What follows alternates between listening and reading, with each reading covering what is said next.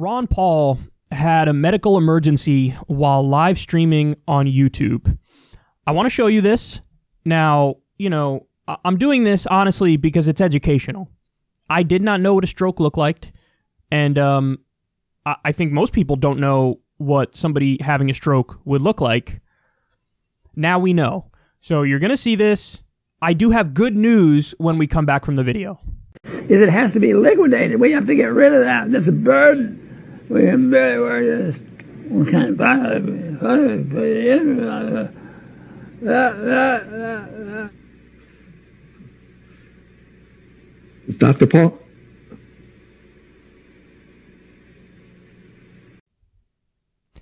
That was tough to watch. That was tough to watch. Um, he is okay. That's the update. So good news, he's okay. Somebody made the point that if you're ever going to have something like this happen, you want it to be when you're with people, when you're around people, when you're in front of people. Because, you know, if it's not, then you're much more likely to pass away. But happened in this situation, people were able to get him immediate medical attention, and so as of right now, he's doing fine. Um, but isn't that terrifying? Every now and then you get a reminder of just how fragile everything is. You know, Ron Paul, he- God bless him, he's made it to age 176.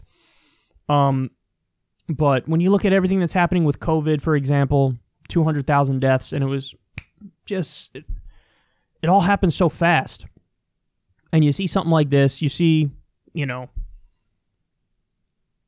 some prominent celebrity deaths happening recently you just realize this is all it's all so fragile and we don't really take a, a, moment to kind of soak in what's happening right now and, and soak in just enjoy almost enjoy your existence i think people have a hard time just tapping into that mindset when they can be where they can be appreciative and have gratitude. We're always thinking from like one problem to the next problem to the next problem. It's very rarely like, hold on now, let me let me stop and smell the roses and really soak in some of the positive because yeah, you never know, man. You never know. To Ron, this was just another day. I was gonna go do my live stream, gonna talk about, you know, libertarian stuff. And then this happens. It's like, whoa. So again, he's okay. Um, but that was very educational. Now you know if somebody acts like that around you at some point, they're having a stroke and you need to get them immediate uh, medical attention for sure. You know, Ron Paul's an interesting character.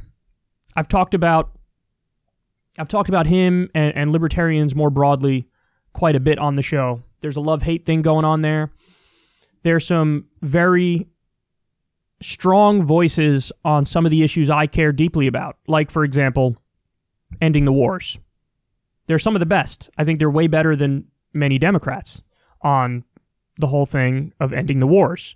So, soft spot for libertarians in that regard. Soft spot for libertarians when it comes to legalization of drugs. Um, there are quite a few issues. Civil liberties. There's a bunch of issues where we overlap and where, you know, you're only going to get change working with libertarians. So there's quite quite a few issues like that. But then, of course, you know, on virtually every economic issue, and that might not be an overstatement. There's only a handful of economic issues where we agree, like don't bail out Wall Street. Agreed completely. Um, but you know, on basic marketplace regulation, on single payer healthcare, like they totally are against us on that. And you know, it is what it is. I mean, that's where you that's where you duke it out. That's where you disagree. That's where you argue. But yeah, it's interesting. I agree with them a lot, disagree with them a lot. But anyway, it does matter. I, I would never in a million years wish something like this, even on my worst enemy. So, um, glad that Ron Paul's better. What a terrifying, terrifying situation.